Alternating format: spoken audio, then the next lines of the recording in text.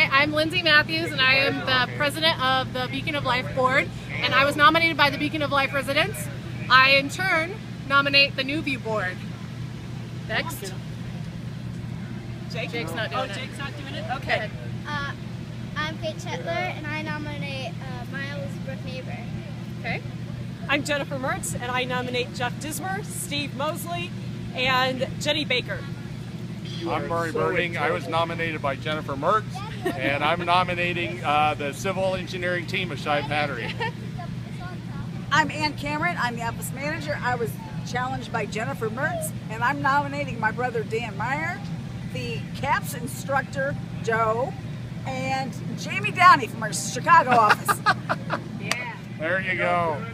And you're all donating, right? Yes! Donate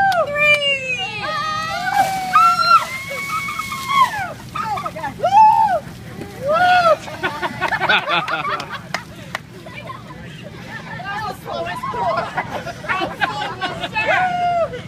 put extra water in there. He had to.